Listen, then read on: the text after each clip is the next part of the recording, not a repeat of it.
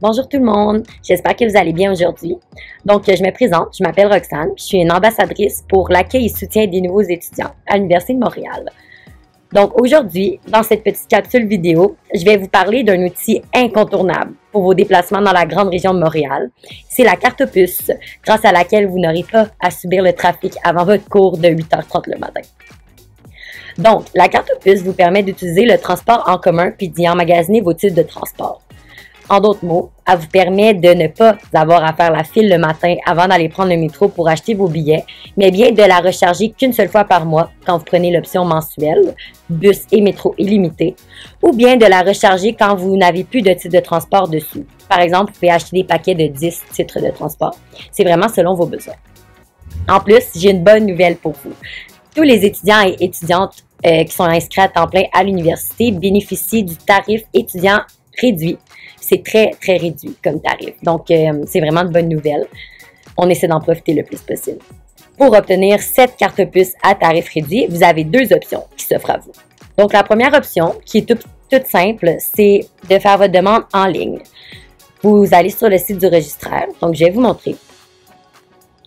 On va sur le site du registraire de l'Université de Montréal. Ensuite, vous allez dans Services, Études et services. Vous cliquez sur carte UDM. Ça vous amène ici. Vous cliquez sur carte puce. Et voilà, maintenant vous faites demander votre carte puce. Donc les conditions, c'est d'avoir une carte UDM valide qui a été faite auparavant, d'être étudiant à temps plein et d'avoir une adresse postale au Québec, d'être âgé de moins de 65 ans. Pourquoi une adresse postale au Québec? C'est parce qu'on va vous poster la carte puce. Donc, il faut que ce soit une adresse postale au Québec. Et vous allez recevoir la carte euh, environ en 7 à 10 jours ouvrables que vous aurez fait dans le confort de votre salon. Donc ça, c'est une bonne option, c'est certain. Ensuite, la deuxième option qui s'offre à vous, c'est d'aller directement la faire en personne.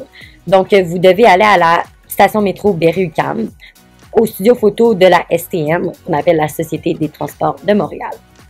Par contre, avant de vous présenter au studio photo, vous devez avoir pris un rendez-vous en ligne sur le site de la STM. C'est obligatoire. Vous ne pouvez pas juste vous présenter sur place et aller faire votre carte puce. Il faut vraiment le rendez-vous. Vous devez aussi présenter sur place une preuve d'âge avec photo et une preuve de fréquentation scolaire. Donc, cette preuve de fréquentation scolaire-là, on la retrouve dans le centre étudiant. Je vais vous montrer encore comment euh, aller vous la procurer. Donc, vous allez dans votre centre étudiant, ici, vous allez dans le petit menu juste ici, à droite du mot études. On clique sur attestation carte puce. On choisit Université de Montréal et la session désirée. Voir le relevé. On permet d'ouvrir la nouvelle fenêtre. Et voilà, vous avez votre euh, attestation pour la carte puce que vous allez présenter à Berry UQAM. Pas besoin de l'imprimer. Vous pouvez le montrer sur votre téléphone cellulaire ou sur leur tablette là-bas qui mettent à disposition. Donc, peu importe quelle option vous choisissez, ça coûte 15 Pour l'option numéro 1 en ligne, ça va être payé par carte de crédit.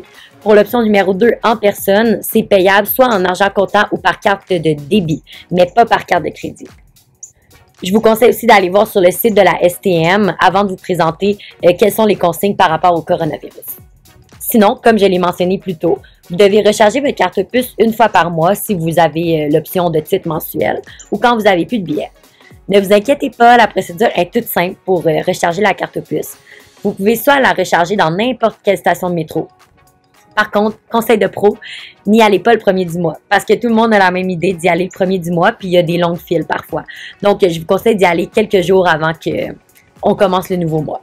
Encore mieux, vous pouvez recharger votre carte puce directement au comptoir de la FECUM sur le campus de l'UDM. Donc, vous avez des comptoirs de la FECUM à Roger-Gaudry, à Jean-Briand, à Marie-Victorin, au campus 1000 et au campus Laval. Donc, il y a de l'option en masse. Puis, euh, vous devez payer soit par argent comptant ou par carte de débit. Donc voilà, ça fait le tour pour les informations que j'avais à vous dire sur la carte puce. Puis si jamais vous avez des questions, n'hésitez pas à me contacter ou à contacter n'importe quel autre ambassadeur ou ambassadrice euh, sur UDM plus 1, donc groupe Facebook, UDM plus 1 2020-2021 ou sur notre blog Les Rogers. Puis euh, je vous souhaite une excellente rentrée scolaire.